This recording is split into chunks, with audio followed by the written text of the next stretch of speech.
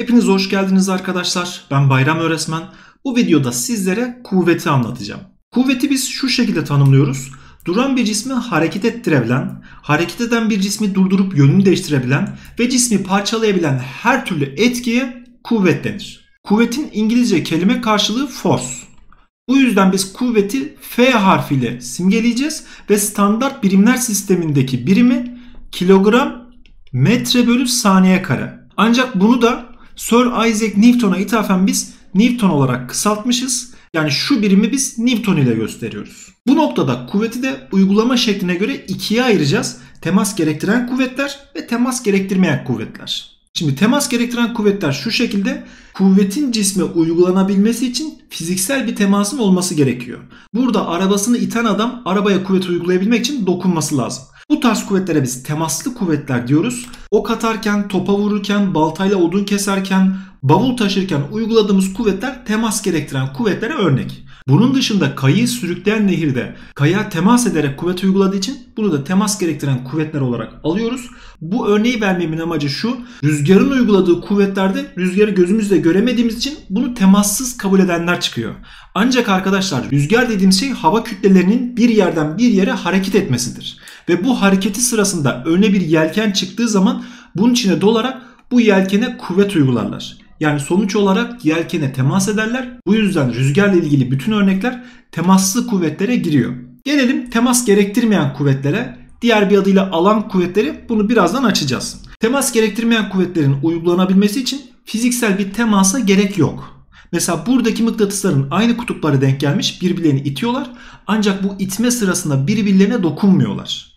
İşte bu tarz kuvvetlere biz temas gerektirmeyen kuvvetler diyoruz. Bunun dışında kumaşa sürtülen plastik çubuğun kağıtları çekmesi veya gelgit olayı da temas gerektirmeyen kuvvetlere örnektir.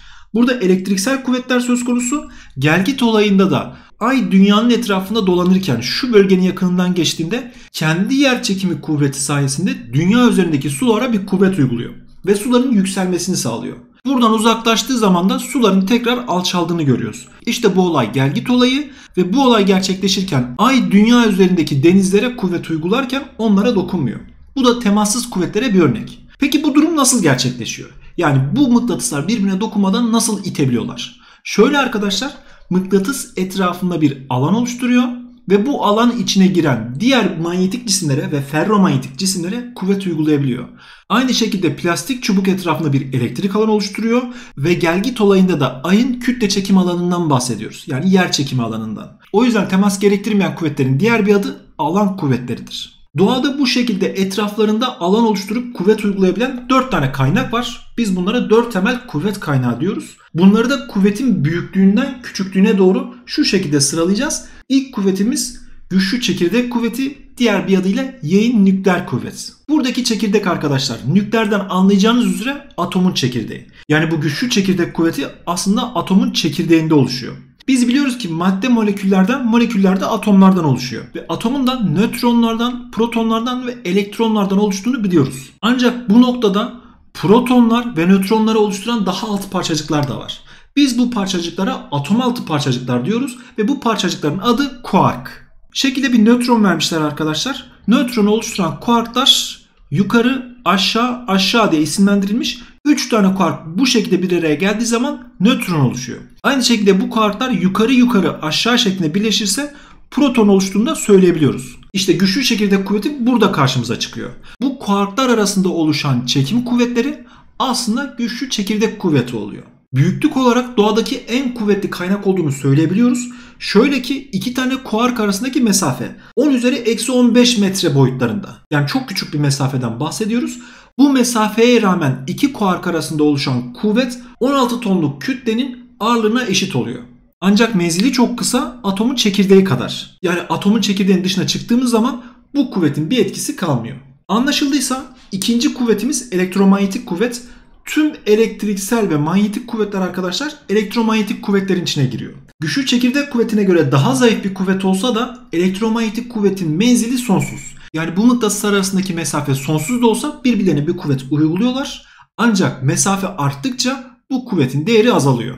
Ve belli bir mesafeye geçtiğimiz zaman artık ihmal edilecek boyutlara düşüyorlar. Anlaşıldıysa üçüncü kuvvetimiz zayıf çekirdek kuvveti. Bu da güçlü çekirdek kuvveti gibi atom içinde gerçekleşiyor ve olayı şu. Şu çizdiğim çekirdek arkadaşlar bir helyum çekirdeği ve içinde iki tane proton var. Şimdi normalde protonların biz artı yüklü olduğunu biliyoruz ve artı yüklü cisimler birbirlerini iterler. Bunlar arasındaki mesafe de çok kısa ve birbirlerini aslında çok büyük bir kuvvetle itmeleri lazım. Ancak protonlar birbirlerini itmesine rağmen bu çekirdek dağılmıyor. İşte bunu sağlayan şey zayıf çekirdek kuvvetleri. Buradaki nükleonlar yani protonlar ve nötronlar arasında oluşan bu kuvvetler sayesinde atom çekirdeği dağılmadan kalabiliyor. Yani çekirdek kuvveti aslında atomun kararsızlığından mesul.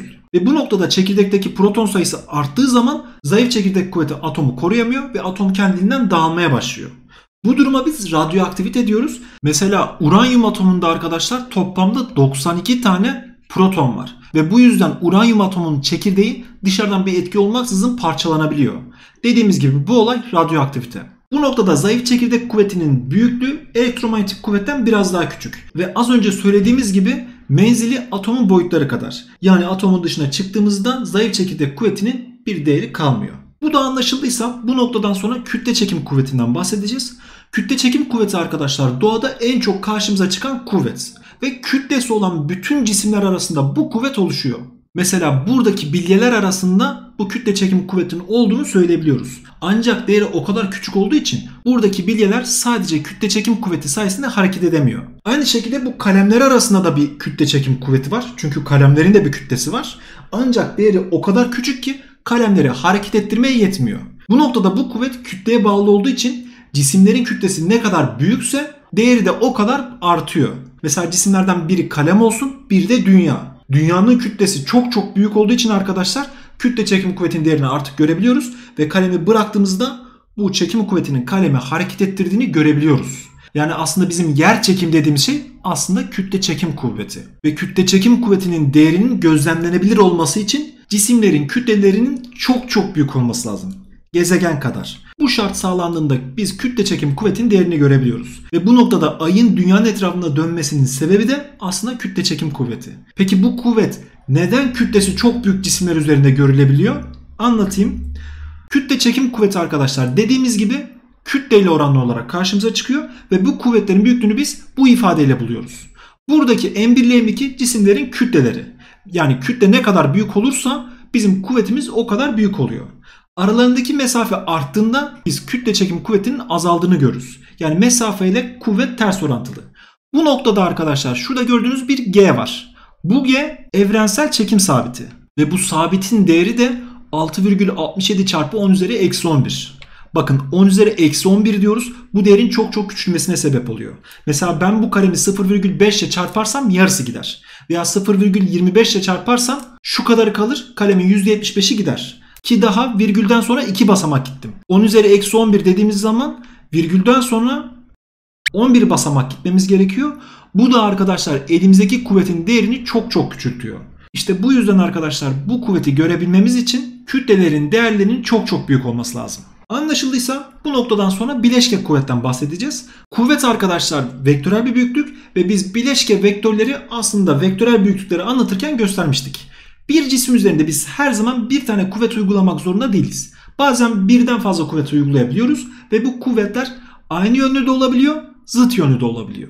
İlk şekil için biz bu kuvvetlerin büyüklüğünü 8'e 4 kabul edersek ikisi aynı yönlü olduğu için arkadaşlar birincinin ucuna ikinci ekliyoruz ve böylece kuvvetin büyüklüğünü biz 12 Newton olarak buluyoruz. Bunu bir de zıt yönlü kuvvetlerde anlatalım.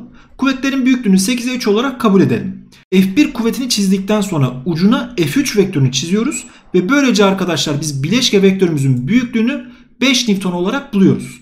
Bu yöntem arkadaşlar vektörel toplama yöntemi. İşlemin üzerindeki harflerin üzerinde ok işareti olduğu zaman işlemi bu şekilde yapıyorsunuz. Ancak bunu yapmak istemiyorsanız ikinci bir yöntemi de şöyle gösterebiliriz. Yönleri kağıt üzerinde artı eksi olarak isimlendirebiliyoruz. Sağ tarafı artı sol tarafı eksi olarak kabul edersek ilk şekilde iki kuvvetle sağa doğru o yüzden F1 ile F2'yi toplayacağız. Yani toplamımız 8 artı 4'ten 12 Newton olacak. İkinci şekilde geldiğimizde F1 sağa doğru olduğu için toplanacak. F3 sola doğru olduğu için çıkarılacak. Yönlerini bu şekilde işleme sokuyorsunuz ve böylece 8'den 3'ü çıkarıp 5 Newton'u böyle de bulabiliyorsunuz. 5 Newton da pozitif çıktığı için aslında bileşik kuvvetimizin sağa doğru olduğunu söylüyoruz bu şekilde. Bu anlattığımız ikinci yolda arkadaşlar harflerin üzerine dikkat ederseniz ok yok. Bu durumda gösterdiğimiz şekilde işlemi tamamlayabiliyorsunuz. Anlaşıldıysa bileşke kuvvetle alakalı başka bir durumdan bahsedeceğiz. Yani dengelenmiş ve dengelenmemiş kuvvetlerden. Bir cisim üzerine biz eşit büyüklükte kuvvetler uygularsak buradaki kuvvetler birbirlerini sıfırlar yani birbirlerini dengelerler. Bileşke kuvvetin bu halini arkadaşlar biz dengelenmiş kuvvetler diyoruz. Ve cisim üzerindeki kuvvetler dengelenmişse cismin hareketi değişmez. Duruyorsa durmasına devam eder. Hareketi varsa da sabit hızlı hareketinin hızını değiştirmez. Buna bir örneğimiz arkadaşlar şu. İki tane özdeş kütleyi bir makaraya astığımızda ağırlıklar birbirine eşit olduğu için kuvvetler dengelenmiştir. O yüzden bu sistem hareket etmez. Anlaşıldıysa gelelim dengelenmemiş kuvvetlere. Kuvvetler cisme uyguladığımız bileşke kuvvet yani toplam kuvvetin değeri sıfırdan farklıysa kuvvetler dengelenmemiştir ve net bir kuvvet oluştuğu için arkadaşlar cismin hareketi değişmek durumunda kalır. Bu şekilde için cismin sağa doğru hızlanması lazım. Makara örneğinde de Koyduğumuz kütlelerden biri daha büyük olursa bunun ağırlığı daha fazla olur ve bu ağırlık yönde makara dönmeye başlar. Bu sistem artık durgunluğunu koruyamaz. Yani cismin hareket etmesi için veya hareketin değişmesi için dengelenmemiş kuvvetlere ihtiyacımız var. Bu anlattığım şeylerle alakalı hemen bir soru çözelim. Şekli görüyorsunuz. Cisme şekildeki gibi 4 farklı kuvvet etki etmektedir. Buna göre A. Cisme etkiyen bileşik kuvvet ve cismin hareketi için ne söylenebilir? B. Cisim harekete geçtikten bir süre sonra cisme sola doğru 2 Newton kuvvet daha uygulanırsa hareketi nasıl değişir? İsterseniz hemen bileşik kuvveti bulalım. Sağ 15 Newton var ve 7 Newton var. Sağ oldukları için ikisini de artı olarak yazıyoruz. 12 Newton'la 8 Newton sola doğru. O yüzden bunları arkadaşlar eksi olarak yazacağız. Yani sağ 22 Newton'umuz var. Sola 20 Newton'umuz. Bu durumda arkadaşlar bileşik kuvvetimiz artı 2 Newton'dur. Yani toplamda cisme sağa doğru 2 Newton'luk bir kuvvet uyguluyoruz biz. Elimizdeki kuvvet arkadaşlar dengelenmemiş bir kuvvet. O yüzden bu cisim sağa doğru hızlanarak hareket etmek durumunda. A şıkkı bu şekilde. Gelelim B şıkkına.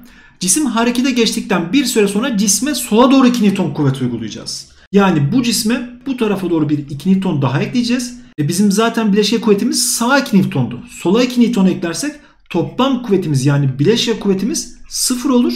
Bu da arkadaşlar dengelenmiş bir kuvvet. Şimdi bu noktada biz başlangıçta cismi sağa doğru harekete geçirmiştik. Yani cisim sağa doğru hızlanarak gidiyordu. Cismin üzerindeki toplam kuvvet sıfır olduğu anda artık cismi hızlandıran etkinin yani kuvvetin sıfır olduğunu biliyoruz.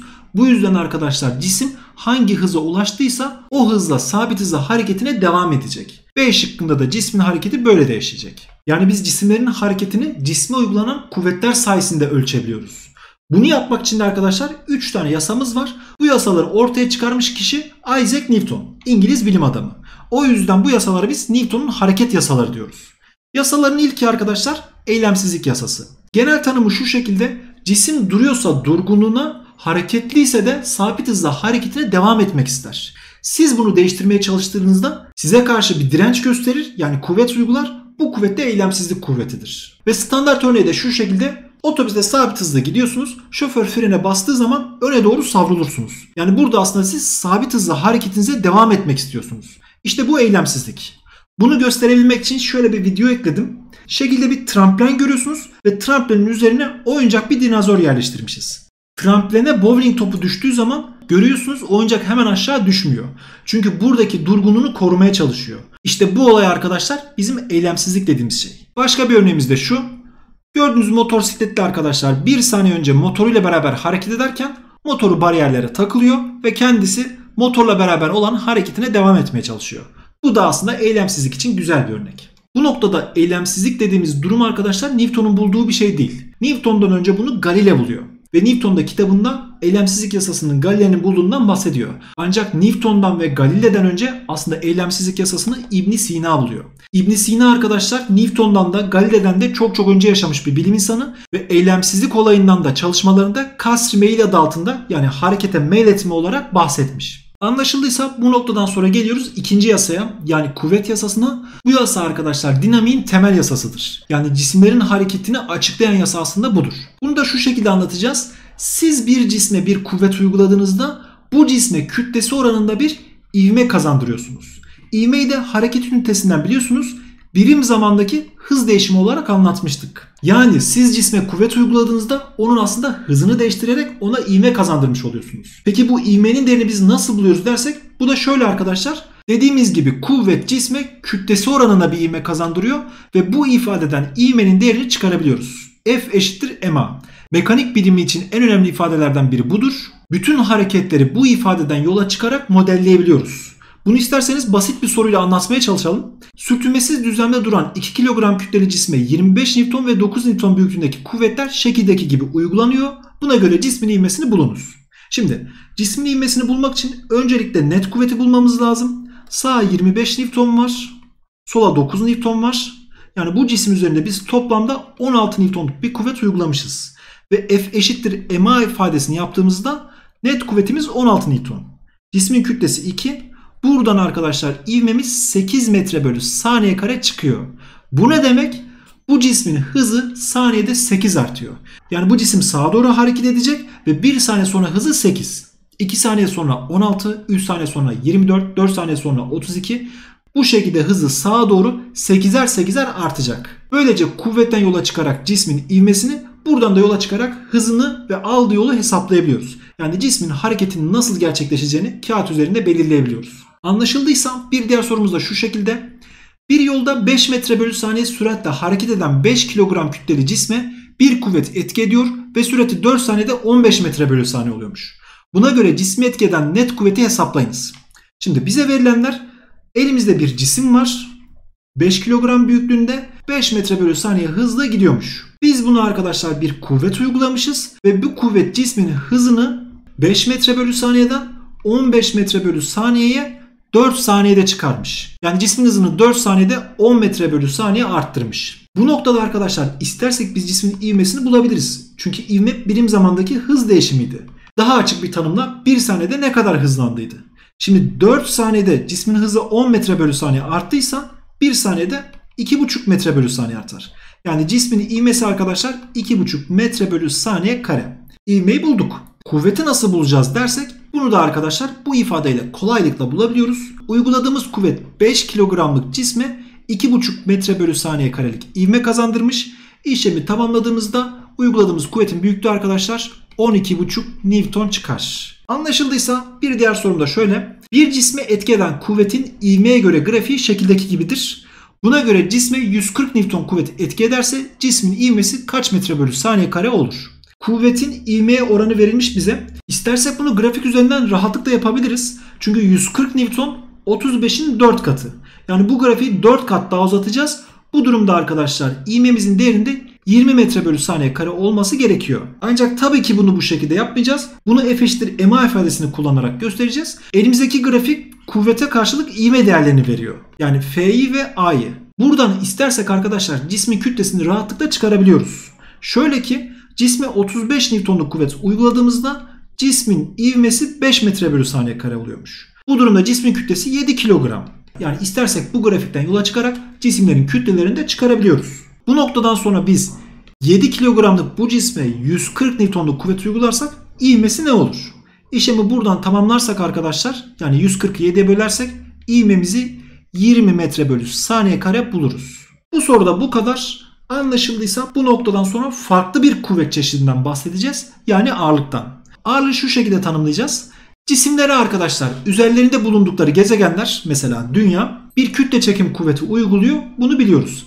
Yani dünya arkadaşlar bu cismi kendine doğru çekiyor. İşte bu cismi kendine doğru çekerken dünyanın bu cisme uyguladığı kuvvet aslında cismin ağırlığı oluyor. Yani bizim ağırlığımız arkadaşlar aslında dünyanın bize uyguladığı kuvvettir. Ve yönü de her zaman yere göre dik olmak zorundadır. Ağırlığın değerinde şu ifadeyle buluyoruz. Kütlemizde yer çekimi ivmesini çarptığımızda ağırlığımızın değerini Newton olarak hesaplayabiliyoruz. Buradaki G arkadaşlar çekim ivmesi olarak geçiyor.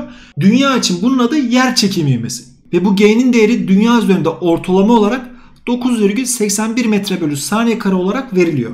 Ancak bu her noktasında aynı değil. Biliyorsunuz dünya geoid şeklinde yani ekvatordan şişkince kutuplardan basık. Dünya üzerindeki nokta arkadaşlar merkeze ne kadar yakınsa G'nin değeri de o kadar büyük oluyor. Yani G'nin değeri kutuplarda fazla, ekvatorda az. Ancak bu noktada sayılardan korkmayın. Biz 9,81'i her seferinde 10 metre bölü saniye kare olarak yuvarlayacağız ve size bu şekilde vereceğiz. Peki biz ağırlığı nasıl ölçüyoruz dersek ağırlık da bir kuvvet olduğu için dinamometre ile ölçülür. Ağırlık dediğimiz kuvvet arkadaşlar bu dinamometrenin içindeki yayı genleştiriyor ve şuradaki sayılar sayesinde biz cisimlerin ağırlığını bu şekilde hesaplıyoruz. Dinamometre dışında da biz ağırlığı el kantarlarıyla ve basküllerle ölçebiliyoruz.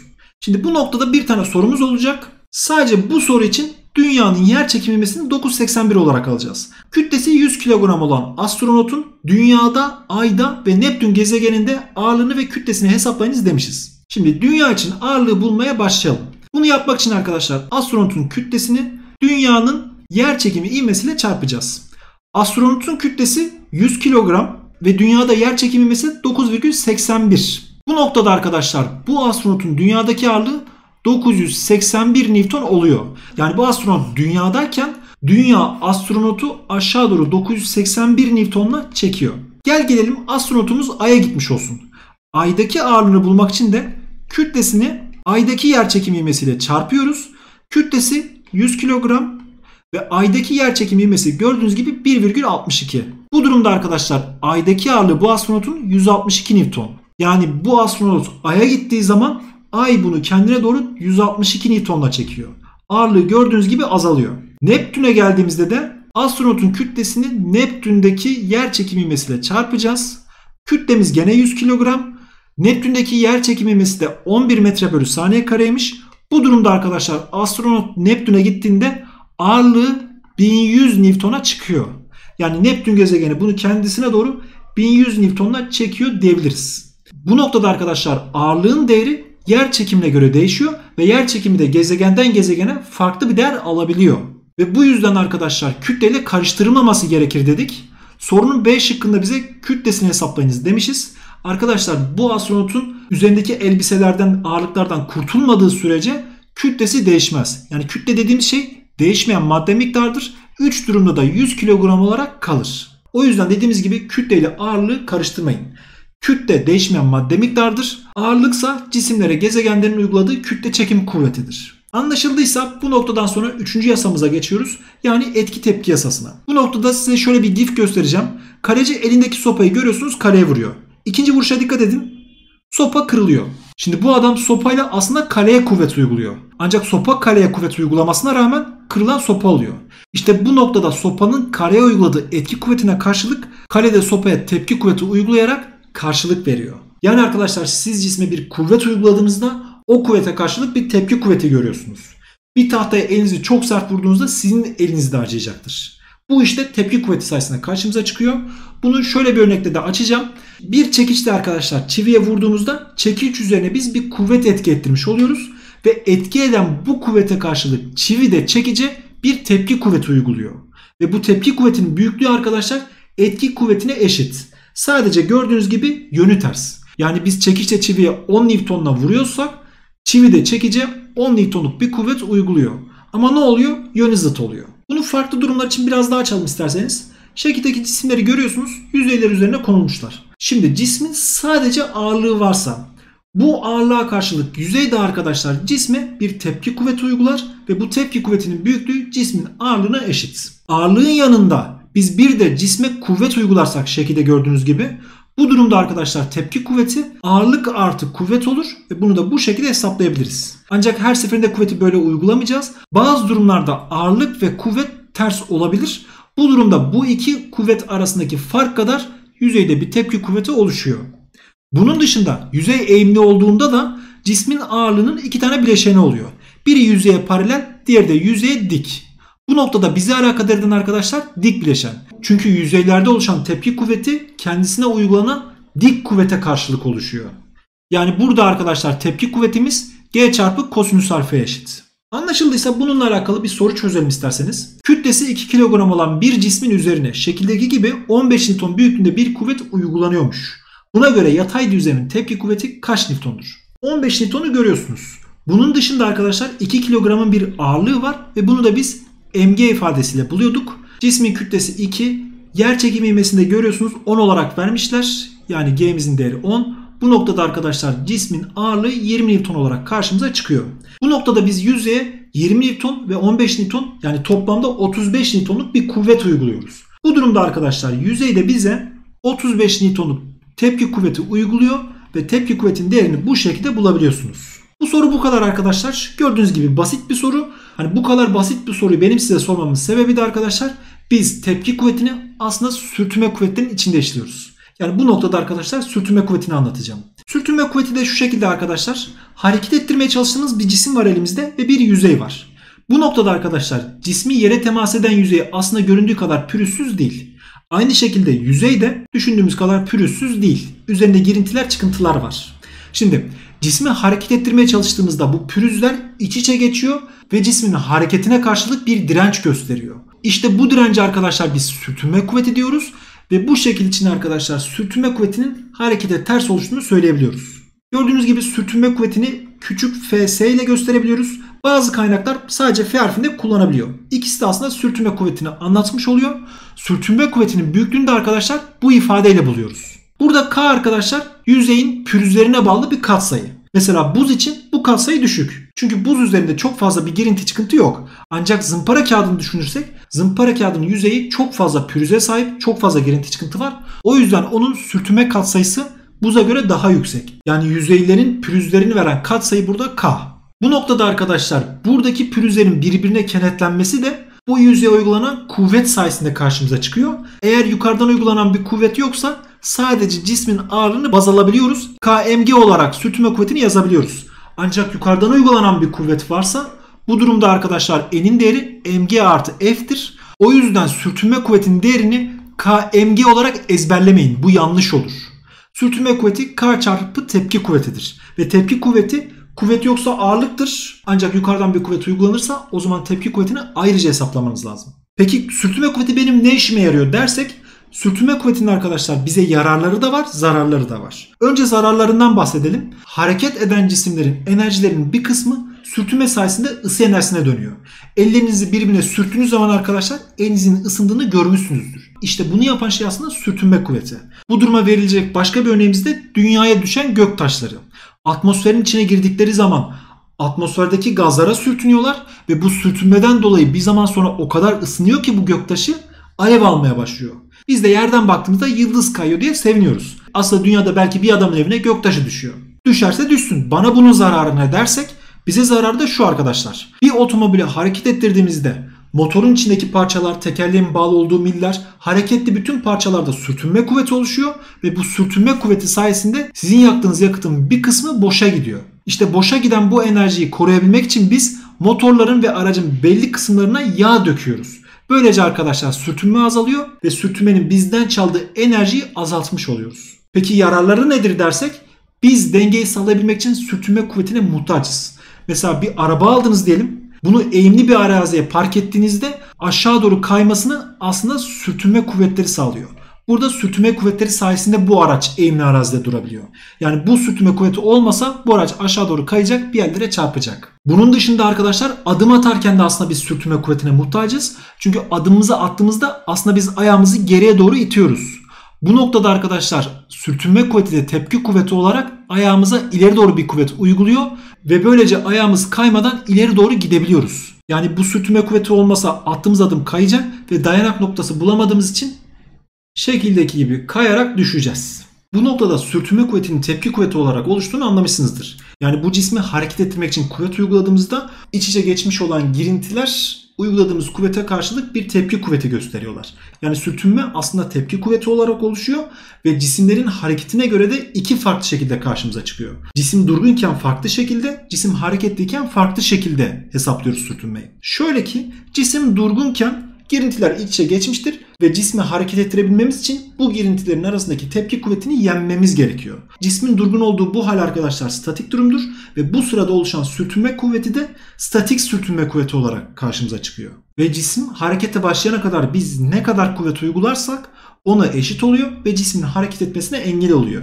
Yani diyelim ki statik sürtünmenin değeri 10 Newton olsun. Siz 1 Newton uygularsanız sürtünme 1'e eşit oluyor. 5 uygularsanız 5'e eşit oluyor. 9 uygularsanız 9'a 10 Newton uygularsanız 10 Newton'a eşit oluyor. Ve sonuç olarak arkadaşlar cismi hareket ettiremiyorsunuz. Yani cismi hareket ettirmek için 10 Newton'dan daha büyük bir kuvvet uygulamamız gerekiyor. Statik sürtünmenin maksimum değerinde arkadaşlar bu ifadeden buluyoruz. Bu değerin altında bir kuvvet uyguladığımızda mesela 5 Newton uyguladığımızda sürtünmenin değeri de 5'e eşit oluyor. Bu noktada diyelim ki biz cisme 11 Newton kuvvet uyguladık. Bu kuvvet cismi harekete geçirmek için yeterli. Çünkü 10 Newton'u geçmiş. Cismin harekete geçtiği bu noktada arkadaşlar cisme kinetik sürtünme kuvveti etki ediyor ve onun büyüklüğünü bulmak için de kinetik sürtünme katsayısıyla tepki kuvvetini çarparsak kinetik sürtünme kuvvetini bulabiliyoruz. Ve burada söylememiz gereken bir şey var. Cisme etki eden statik sürtünme katsayısı kinetik sürtünme katsayısından biraz daha büyük. Bu yüzden cisim harekete geçtikten sonra etki eden sürtünmenin değeri azalır. Eğer günlük hayatınızda ağır bir dolabı ittiyseniz dolap harekete geçtikten sonra daha kolay hareket ettirdiğinizi fark etmişsinizdir. Çünkü orada siz statik sürtünmenin en büyük değerini geçiyorsunuz. Cisim harekete geçiyor ve kinetik bölgede etki eden sürtünmenin değeri statiğe göre biraz daha düşük. Tabi bunlarla alakalı matematiksel işlemler karşınıza TYT'de veya 9. sınıfta çıkmayacak. Bunlar 11. sınıf konusu ve hani çıkarsa AYT'de çıkar. O yüzden bunları şimdilik sadece tanım olarak bırakıyorum. 11. sınıf dinamik konusunda bunu daha ayrıntılı anlatacağız. Anlaşıldıysa bununla alakalı birkaç tane soru çözelim. 2 kilogram kütleli cisim statik sürtünme katsayısı 0,3 olan yatay düzlem üzerinde durmaktadır. Buna göre cisme hareket ettirebilecek kuvvetin en küçük değeri sorulmuş. Bir de cisme 5 Newton kuvvet uygulanırsa sürtünme kuvveti kaç Newton olur bunları sormuş. Arkadaşlar şu an bu cisme etki eden sürtünme kuvvetinin değeri 0. Çünkü biz cisme bir kuvvet uygulamamışız ve cisme kuvvet uygulanmadığı için tepki olarak oluşan sürtünme kuvvetinin değeri de 0. Bizim bu cismi hareket ettirmemiz için statik sürtünmenin maksimum değerini geçmemiz gerekiyor. Ve bize sürtünme katsayısı burada verilmiş. Yani K çarpı N yapsak yeterli oluyor. K'mızın değeri 0,3. Yüzeyde oluşan tepki kuvveti de elimizdeki cismin ağırlığı gördüğünüz gibi 20 Newton 20 Newton'a eşit. Bu durumda arkadaşlar statik sürtünmenin maksimum değeri 6 Newton oluyor.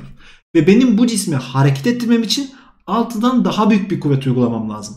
Yani benim cismi hareket ettirebilmem için tam sayı bir değer vereceksek en az 7 Newton uygulamam lazım ki 6'yı geçebilelim ve bu noktada bir net kuvvet oluşsun. Cisim harekete geçsin. Yani ivmesi olsun. Eğer bunun altında bir kuvvet uygularsak mesela 5 şıkkındaki gibi 5 Newton bu durumda da şöyle bir şey gerçekleşiyor. 5 Newton kuvvet uyguladığımız zaman bu kuvvet cismi hareket ettirmeye yetmiyor. Eğer ben bu cismin hareket etmediğini biliyorsam ve cisme bir kuvvet uyguladıysam demek ki ters yönde de bir 5 Newton'luk kuvvet vardır. İşte bu kuvvet arkadaşlar sürtünme kuvveti. Yani bu noktada şunu söyleyebiliyoruz. Cisme hiç kuvvet uygulamadıysak sürtünme kuvveti oluşmuyor. Çünkü dediğimiz gibi sürtünme uyguladığımız kuvvete tepki olarak oluşuyor. Biz 6 Newton'u geçene kadar uyguladığımız kuvvet neyse sürtünme de ona eşit oluyor. 1 Newton uyguladıysak 1 Newton'a eşit, 2 uyguladıysak 2'ye eşit, 3 ise 3'e, 4 ise 4'e, 5 ise 5'e gördüğünüz gibi 6 ise 6'ya eşit oluyor ve cismi hareket ettiremiyorum. Ne zaman ki 6 Newton'u geçtim, diyelim ki 7 Newton uyguladık. Bu durumda arkadaşlar sürtünme 6 olarak kalıyor ve cismi bu şekilde hareketine devam ettiriyorsunuz. Anlaşıldıysa bir diğer sorumuz şöyle. Sürtünme katsayısı 0,2 olan düzlemde duran 3 kilogram kütleli cisme 7 Newton, 5 Newton ve 3 Newton büyüklüğündeki kuvvetler şekildeki gibi uygulanıyor. Buna göre cismin ivmesini bulunuz. Arkadaşlar kolay bir soru. Yalnız acele edip 12'den 3'ü çıkarıp 9 Newton kuvvet var deyip F eşittir MA yaparsak hata etmiş oluruz. Çünkü soruda sürtünme var. Öncelikle bir sürtünmenin değerinin hesaplanması gerekiyor. Hesaplayalım hemen. K çarpı N ne buluyorduk? K'mızın değeri gördüğünüz gibi 0,2. Tepki kuvvetimizde cisim 3 kilogram olduğu için 30 Newton ağırlığı nasıl hesaplanacağını biliyorsunuz. Bu noktada arkadaşlar cismi etkeden sürtünme 6 Newton olarak karşımıza çıkıyor. Şimdi şekle baktığımızda sağa doğru 12 Newton uygulanmış. Demek ki cisim sağa doğru hareket ediyor. Ve bu şekil için arkadaşlar sürtünme kuvveti cismi durdurmaya çalışıyor. Bu yüzden bulduğumuz bu 6 Newton'luk kuvveti harekete ters yönde çiziyoruz. Yani 6 Newton sola doğru çiziliyor. Ve cismin üzerindeki net kuvveti bulurken sürtünmeyi de dahil etmem gerekiyor. Sağa doğru gördüğünüz gibi bir 12 Newton'umuz vardı. Sola doğru da bir 3 Newton ve sürtünmemiz var. İşlemi tamamladığımızda 3 Newton'luk bir net kuvvetimiz varmış. Soru bizden cismin ivmesini istiyordu. F net eşittir ma yapacağız. Net kuvvetimizin büyüklüğü 3 Newton. Cismimizin kütlesi 3 kilogram. O halde arkadaşlar cismin sahip olacağı ivme buradan 1 metre bölü saniye karedir. Bu soru bu kadar. Anlaşıldıysa son sorumuzda şöyle. Sürtünmeli düzlemdeki cisme 10 Newton ve 16 Newton büyüklüğündeki kuvvetler şekildeki gibi uygulanıyormuş. Buna göre cismin ivmesini bulunuz. Sorumuz bu. Yapacağımız şeyler öncelikle sürtünmenin değerini bulup şekil üzerinde göstermek. Ardından da net kuvveti bulup F eşittir ma yapacağız. Böylece cismin ivmesini bulacağız. Başlayalım isterseniz. Sürtünme kuvvetini K çarpı N ile bulacağız. Şimdi elimizdeki cismin kütlesi 2 kilogram. Yani bunun 20 Newton'luk ağırlığı var. G'nin 10 verildiğini görüyorsunuz. Bu noktada arkadaşlar biz yüzeye toplamda 30 Newton kuvveti uygulamışız. Yani yüzeyde oluşan tepki kuvveti 30 Newton. O halde arkadaşlar sürtünme kuvvetini bulurken sürtünme katsayısı olan 0,4 ile tepki kuvvetimizi çarpıyoruz. İşlemi tamamladığımızda 12 Newton'luk bir sürtünme kuvveti görüyoruz. 16 Newton bu cismi sağa doğru çektiği için burada sürtünme kuvveti sola doğru oluşuyor. Yani buradaki 12 Newton'luk sürtünmeyi sola doğru çiziyoruz. Ve buradan sonra da net kuvveti bulacağız. Hareket doğrultusunda sağa doğru bir 16 Newton'luk kuvvet var ve sola doğru gördüğünüz gibi 12 Newton'luk sürtünme kuvvetimiz var. İşlemi tamamladığımızda net kuvvetimiz 4 Newton ve cismimizin kütlesi 2 kilogram. F eşittir ma yapacağız ve cismin ivmesini buradan çıkaracağız. 4 Newton'luk kuvvet uyguladığımızda 2 kilogramlık cisme 2 metre bölü saniye karelik ivme kazandırırız. Bu soru da bu kadar arkadaşlar. Bu soruyla beraber de kuvvet konusunu tamamlamış oluyoruz. Benim anlatacağım şeyler bu kadar. Bu noktadan sonra top sizde arkadaşlar. Zaten videoyu buraya kadar izlediyseniz ne demeye çalıştığımı biliyorsunuz. Hepinize iyi günler, iyi çalışmalar.